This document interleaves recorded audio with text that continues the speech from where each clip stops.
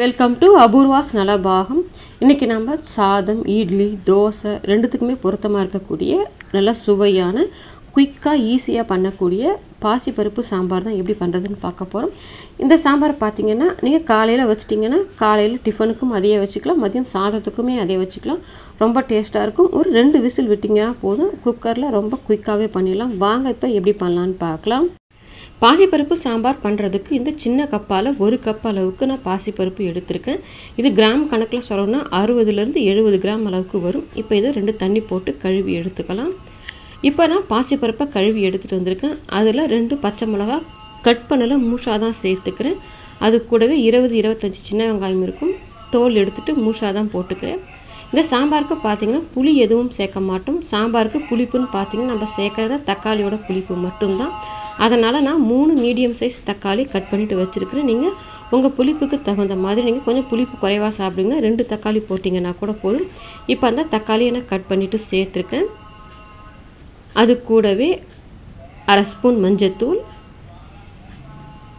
ஒரு spoon sambar powder நீங்கள் சாம்பார் பவுடருக்கு பதிலாக குழம்பு மிளகாத்தூள் வச்சுருந்தீங்கன்னா அது கூட சேர்த்துக்கலாம்.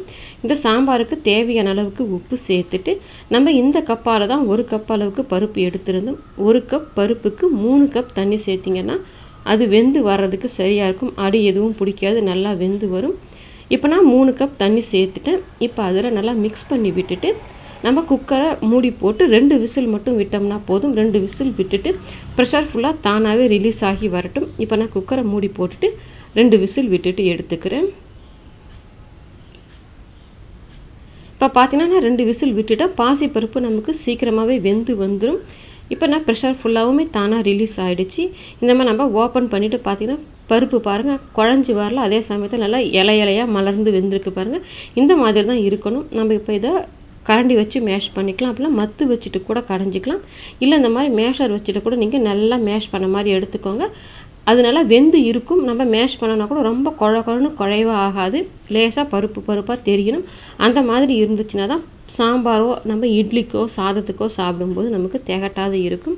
இப்போ நான் மேஷர் வச்சு மேஷ் பண்ணி எடுத்துகிட்டேன் பாருங்கள் உங்களுக்கு பார்க்கும்போது தெரியும். நல்லா மேஷ் ஆகி இருக்கும். ஆனால் பருப்பு லேசாக தெரியுது பாருங்கள் இந்த மாதிரி தான் இருக்கணும் இந்த சாம்பார். இது நீங்கள் சாதத்துக்கு வச்சு சாப்பிட போகிறீங்கன்னா இந்த அளவுக்கு கட்டியாக இருந்துச்சுன்னா தான் சாதத்தோடு சாப்பிட நல்லாயிருக்கும். இதில் நீங்கள் தாளிப்பு மட்டும் சேர்த்துட்டு ஒரு கொதி விட்டிங்கன்னா போதும். இப்போ நான் இதை இட்லிக்காக வைக்கிறதுனால இதில் இன்னும் ஒரு டம்ளர் அளவுக்கு தண்ணி சேர்த்துக்கிறேன். நீங்கள் இட்லி தோசைக்கெல்லாம் கொஞ்சம் தண்ணியாக இருந்துச்சுன்னா நல்லாயிருக்கும்.